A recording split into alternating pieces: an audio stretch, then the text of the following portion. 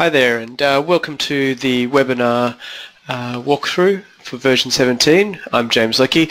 I'm the product owner at Schoolbox and I'm going to be walking you through the latest update to Schoolbox today. Um, so as usual let's start off by having a look at the changes that have been made within the admin system. Uh, we'll walk through those first and then we'll go through some of the uh, changes in the rest of the system. So just getting started, I'm going to move into the LMS system.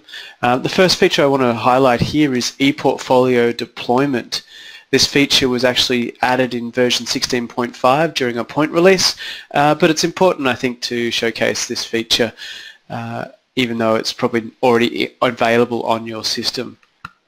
Uh, this feature allows you to send ePortfolios to a large um, group of users. So you could send an ePortfolio to page to your whole Year 7 cohort, for example. So if you all you need to do is first set up that page on your own ePortfolio and then you can search for it and um, send that out to your target users. Um, so that tool allows you to actually deploy ePortfolio pages on bulk out to lots of students. Okay, next up I'm going to showcase the terminology feature the terminology feature uh, now allows, this functionality has actually been in Schoolbox for a while now, but we've never really exposed it through the admin system before. So now you've got complete control over the terminology that we utilize in Schoolbox. So it lets you set the terms that you want uh, for your system. You can set up any particular terminology that you want um, and configure that how you want for your system. Obviously at Schoolbox we want the system to feel like your system. So if you have a different word for due work or grades, you can re-customize that or um, and set it up how you want specifically for your environment. Looking here uh, at just quickly how this works, uh, the term assessment obviously has both a singular form and a plural form, assessment and assessments. It also has a thing here called indefinite article. This is whether you should we should use an an or an a before the term. So some terms obviously um, require indefinite articles and others don't, so that just controls that.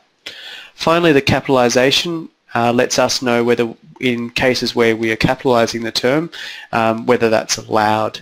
Um, say for example ePortfolio where you don't want the E capitalized, you could turn that on um, so that the E doesn't become capitalized. Uh, so that gives you control over that capitalization when we're using it as a, as a um, label or in a heading. Okay, so let's now move on to another feature that actually came out in 16.5. Um, but once again, I think it's important because it came out during 16.5 that we talk about this feature. Feature allows us to subscribe to the calendars in your SIS. So obviously many of you know we have a real-time connector to your SIS database and we're able to get a large amount of data from that real-time connector into Schoolbox. The latest uh, extension of that connector is the new ability to subscribe to calendars from your SIS. Um, currently this is only set up to work with synergetic SISs. So in that regard, what this will do is if you turn on the event synchronization for the external database, it will display staff scheduled events in the teacher and students calendars. So if you have a staff scheduled event like a music lesson or a coaching class or some other thing that is going on that's not necessarily in the timetable but you have uh, a teacher scheduled to take it um, and a student is also involved, that event will turn up on both their calendars so that they can see those in their calendar. Um, so we're bringing all that data in. We do intend to extend that as well. That's going to have TASS support soon as well, so we will be extending that uh, to have TASS as well in the near future. Let's move on now. Um, next feature up is the media queue. The media queue, uh, a lot of you have had um, some issues with videos every now and then um, and there's not a lot you can do about it. They just seem to not work. Um, so we wanted to give you some insight into why potentially those videos have failed. So this new media queue tab will give you some insight into what videos are currently being processed and any videos that may have failed. From here you're able to pull up the reason they've failed uh, and have a look at exactly what went went on during the transcoding process um, and there might be clues to why that failed in there during that transcoding process. Perhaps it was a, poor, a bad codec or uh, corrupted. Um, you may find that out through that log. If you can't see any good reason, it just seems to have timed out, you can of course just click Restart Processing and that will allow you to uh, restart that process and resend that to um, your uh, the video processor and actually have that re-queued up.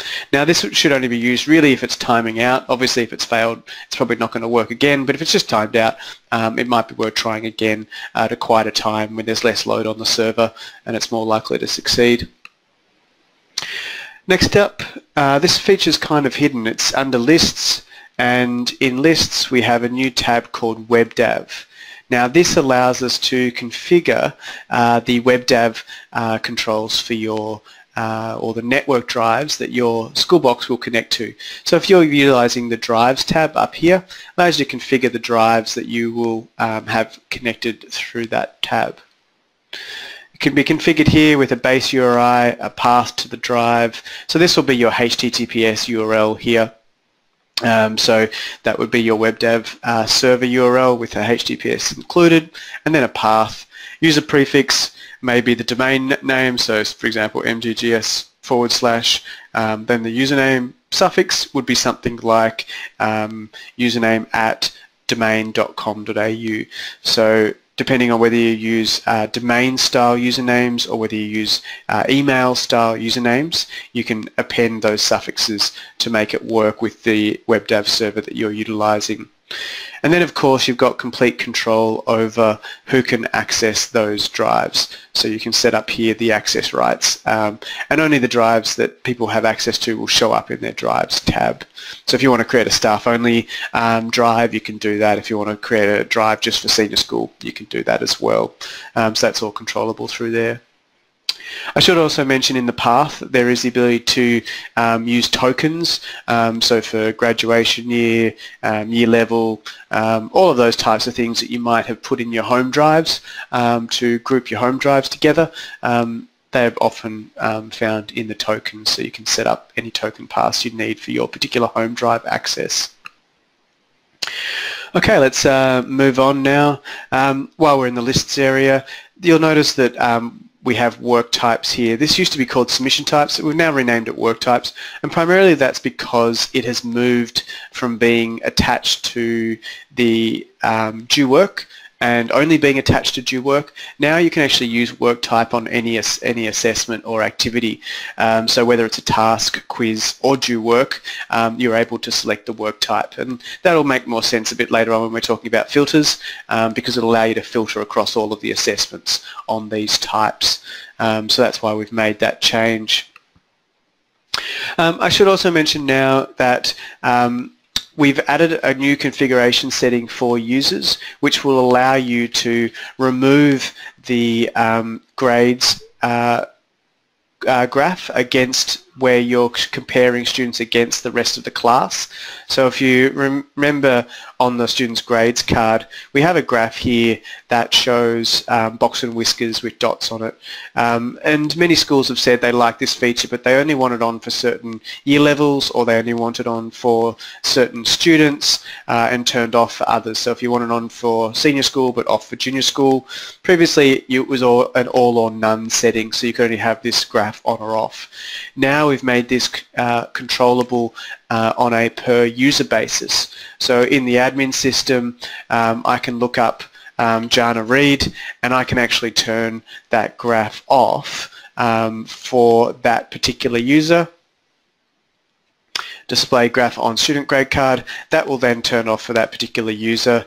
And so when I return to the grades card um, that uh, graph will no longer be there actually have to log out and log back in again for that to work, um, but that graph won't be there anymore for that student.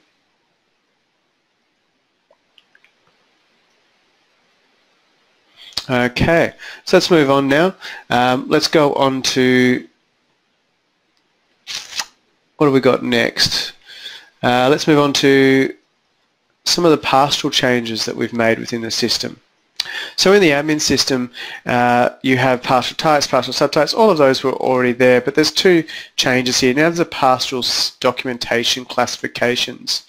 And the way this works is that it allows you to align the documents that are uploaded into Schoolbox's pastoral system with the classifications of those documents when they get uploaded into Synergetic. So this is really specific for the Synergetic um, synchronization process and it will allow you to classify documents um, by their type. So when you select a particular type, you can say what document classification um, will be utilized when we upload those documents into DocMan into Synergetic. Um, also on pastoral uh, record severity, um, we have the ability here to show um, certain severities on the pastoral dashboard and we'll come to that um, a bit later on during this walkthrough about what that pastoral dashboard actually looks like. But here in the admin system you can control um, which particular severities appear on that dashboard. So you can have these all turned off if you don't want anything appearing on the pastoral dashboard, um, but you can also turn it on here as well. Okay, so that pretty much wraps up uh, the admin system. Let's move now into the LMS and some of the changes we've made, within the LMS system. So I'm going to start by logging in as a teacher. Now, as a teacher, in 16.5 we added this new assessments button. Now this area here could be quite busy and could have quite a lot of information on it. And scrolling through you can see here I've got a lot of assessments underway um, and not a lot of really clarity about what's going on here. Um, so what we've done is we added a new filters area at the top here which will allow you to filter it to specific requirements. So if I want to filter it to just the weighted assessments, um, so I'm only seeing the really important ones, I can apply that filtering and there we go, we now see it just the weighted assessments. If I only wanted to see um, of a certain type, say assessment tasks, um, and I only wanted to see things in uh, Year 9 English, I can apply that filter and now I can see just those assessment tasks in Year 9 English. If I want to remove a setting, I can press the close button here and reapply and it will be refiltered back to just assessment types. And of course I can remove that and go all the way back again. I should note that um, these filter settings will be saved across um, visits. So if I set assessment task here as a filter setting and then I go away to another page and then come back, that filter setting that I chose before is still in play. So it will remember the filters, um, not just from visiting the page and coming back again, but also if I log out and log back in again, it will still remember my settings. Now of course if you ever want to get back to the settings that you had originally you can always click reset to defaults apply filters and it'll be back to the defaults um, as per the, when we started. So you've always got that ability to go back but do note that it will remember those settings so it can always um, it can be confusing to users that they may have applied settings and they forgot um, and when they come back it's it's not the same as what they thought it was. Okay so let's uh, move on now. Um, one of the other areas that also has a lot of assessments on it is the Markbook. And so I'm accessing the Markbook here through the Classes button. I go to a Markbook um, for Year 9 English. And here it brings up quite a um, busy Markbook with lots of things on it, lots of activities and quite long, lots of scrolling there to find what I'm looking for. But using the filters, once again, I can uh, filter that just, for example, to due work um, that is currently open um, and or perhaps overdue or closed, apply those filters, and now I'm only seeing the work that is currently uh, active in due work. I can remove any filters I want, or return to defaults. I should note here that you can actually um, set across multiple classes. So you can actually build a markbook that shows all of the classes uh, and that's something that we think that we probably will utilize later down the track. At the moment it doesn't make much sense. I mean if I put Year 9 English and Year 9 French together in one markbook um, it's just going to create a massive big list of things that don't make much sense together. You can do it, of course, but it doesn't make a lot of sense. But where we do think it might make a lot of sense is, for example, if you wanted to bring together the whole cohort, um, a whole um, faculty, for example, you might want that. So that's something we think we might use in the future to provide you um, bigger mark books with um, different perspectives on the data. Okay, so let's move now on to the next area, um, and that's going to be from a student's perspective, and I'm going to look up a student here. Uh, I'm actually going to use Jana Reed, and I'm going to go down into her grades card here. And on Jana's grades card, I can see that she's currently getting A for English, um, and I can see that um, I can actually filter these assessments as well. Um, so from here, I can filter it, I can reset it to defaults and see everything or I can filter it to just specific tasks, uh, perhaps just the major assessments that have been weighted and just see the core assessments that have been weighted. So the filters really give you the power to sort of control um, what you see as a user on these pages. But we also thought, well, it's great for the user to have this control, but sometimes the school wants to define what they think people should see as a default. Uh, so in the admin system, we've added a new filtering control uh, tab. And so in the filters tab, we click here, you'll see that you have each of your pages, pending assessment grades and markbook, where we've added the filters. And from here, you're able to control what filters are available. So if you want to turn certain filter settings on or off, or control whether users can select them or not, and also define the defaults. So for example, if I only wanted, um, uh, for example, to make parents see uh, weighted tasks and students to only see weighted tasks, I can configure that like so. And if I want to remove the ability for users to control whether they can see um, unweighted or weighted, I can turn that option off. And so now the user can't configure it, they're just going to see the weighted assessments and that's all they'll ever see. If I don't want someone to control or filter on this at all, I can turn the filter off entirely and so that option won't be available to users at all. They won't be able to actually control the weighting options. So using these filters, you can customize what filters are available. You can customize what filters users can control. You can also customize what options they have within the filter. And finally, you can configure the default options for each role type that are set automatically when they visit that page. So lots of custom customization there, but very powerful. It will allow you to control and configure the page to show exactly what you want it to show, when you want it to show it, and also allow people the, the flexibility to show more if they want to or show less if they want to. So a very powerful feature, the new filters.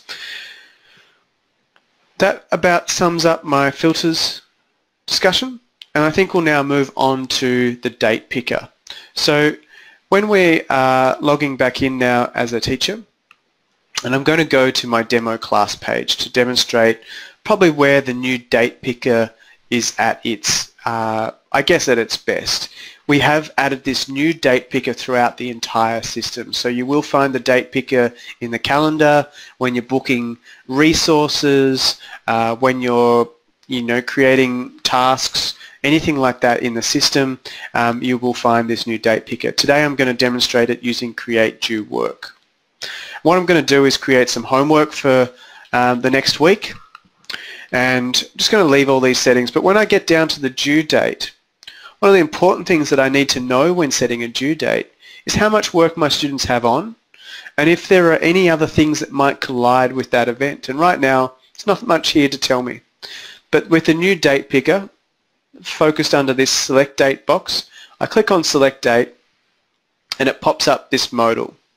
And from this modal, I now see a calendar picker. But on this calendar picker is a little heat map that indicates that on day 8, on day 13, on day 16, that student has a lot of work on already. If I click on day 16, on the 16th here, I'm actually able to see that Jana Reed has three pieces of work set already. And if I want to see exactly what that work is, I can drill down into the students' work lists and see exactly what work the students have set. So I can actually see what work the student has on and make a decision. Is it okay to set more work on that day? Or should I perhaps pick one of these days that's a bit lighter? And so if I pick, say, the 22nd, is that okay? I can now see on the calendar that we have Year 7 camp on that day. Is that going to be a problem for me setting the date? So I can see the whole school calendar as well. So it's not just about whether the students have due work on that date, but also I can see what other events might be on on that day that could potentially impact on their ability to complete that work. I also know that many teachers don't think in dates. They think by the timetable. And so we also added up the top here the ability to select by timetable. So I've been demonstrating this by date here, but we could just as easily demonstrate it using the calendar, the timetable as well. So we have the ability to select which timetable you're looking at, what term you're looking into, and then of course what week you want in that particular term. Selecting that day brings up the information for that particular day or week in the timetable. And then finally, we can select what period and what time during that period.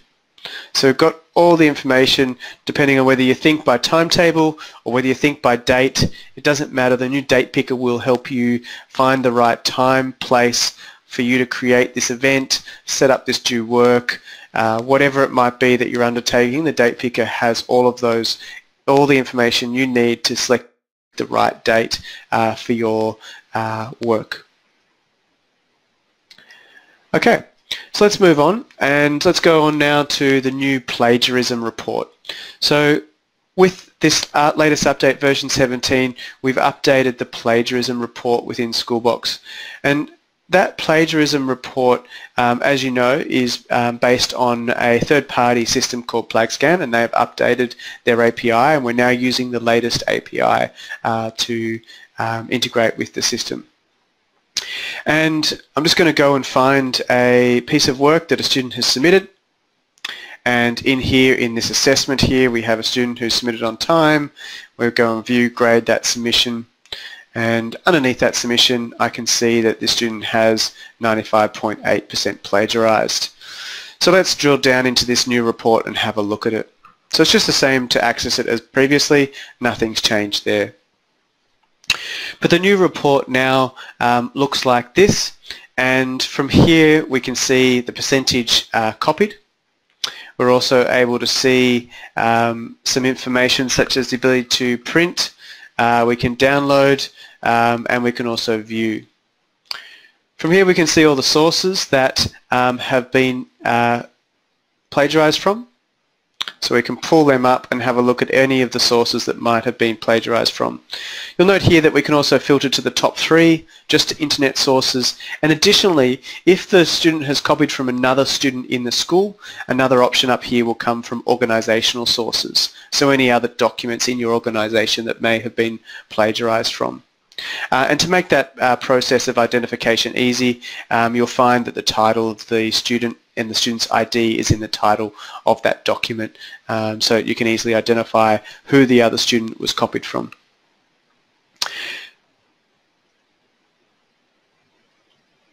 Okay.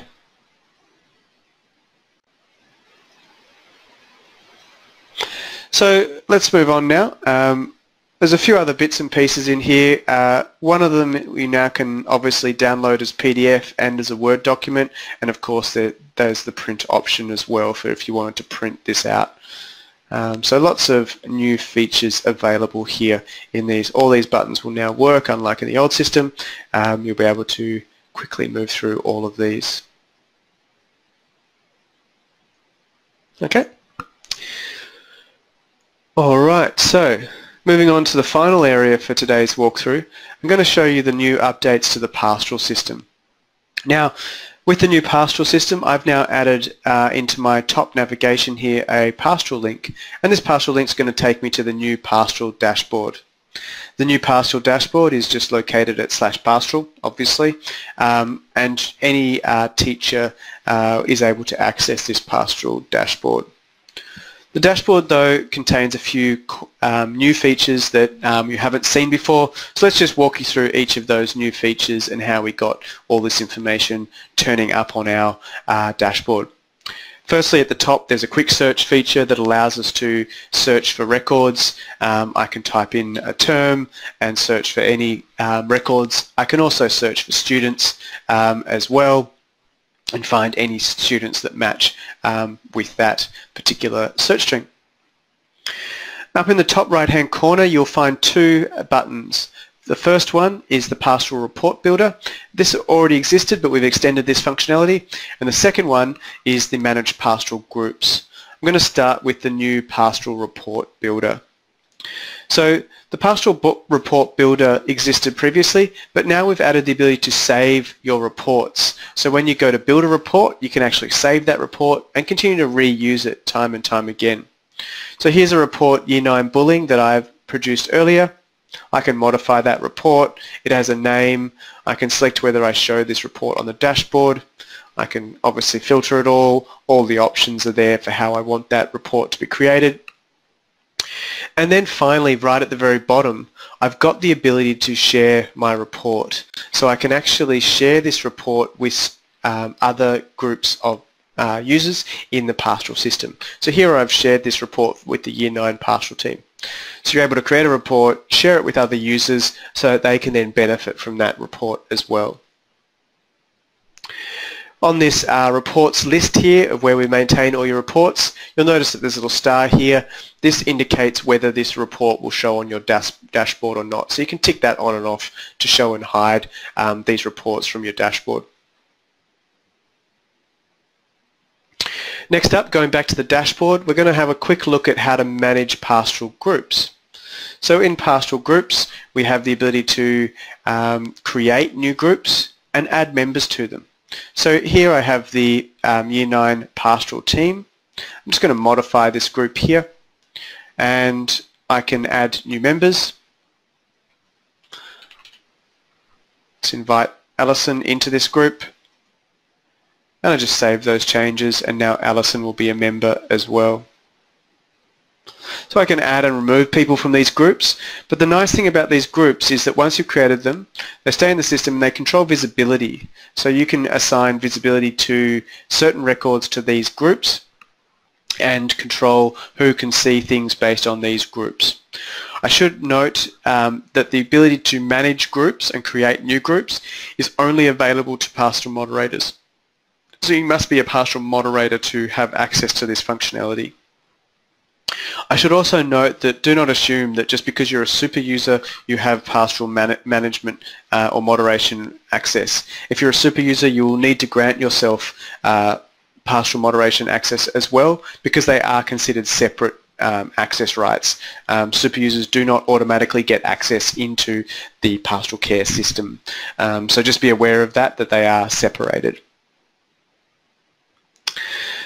Okay, so let's go all the way now back to the dashboard. And so now I've talked you through how we got to the quick report links, so those reports um, that we created and saved, you can see that these have been shared with different groups and you can also see that uh, I have my group memberships here, my wellbeing group, my um, Year 9 pastoral team, um, they're all being um, shared as they're the groups that I'm part of on this dashboard as well. Uh, in here we have my recently viewed um, students. We have Sasha White. Um, any students that I've recently looked at will appear here just as quick links so that I can quickly access them. And important records. These are records of um, information that uh, I have uh, recently accessed um, so that you can um, well, well, important because I've marked them with the highest severity. So, sorry, um, so those have the high severity um, that we turned on in the um, admin system before. So anything with that high level of severity, they can turn up on the dashboard as well. And this is really to help, um, say, your high-level users um, be made aware, be made more aware of critical issues in the system. Okay, so that sort of summarizes um, the new dashboard. But let's just go quickly look at an actual record. So this is the updated um, pastoral record screen. A um, couple of new features on this screen. Firstly, we now have a revision history. This revision history shows you the history of any changes. Uh, only pastoral moderators can see the revision history, um, but um, we just want to include an audit log there so you can see any changes that have occurred to that particular assessment. Um, next up, we have um, comments, they were always there, and now we have record visibility so you can see um, which groups this record has been sh shared with as well. Also, when I'm modifying this record, um, much the same as it previously was, but now there's the new pastoral groups as one of the visibility options. So when you create a, a group, you can tick on the visibility and control um, that visibility around that group as well. Um, so here I could tick on Year 7 teachers, for example.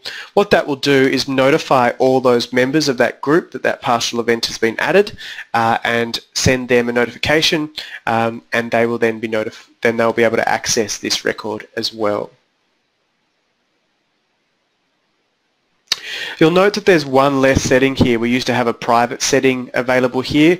Uh, we have removed that just because it, it, added an extra layer of complexity around visibility and it was difficult to, uh, I guess, understand what was going on with private records versus uh, the visibility controls here.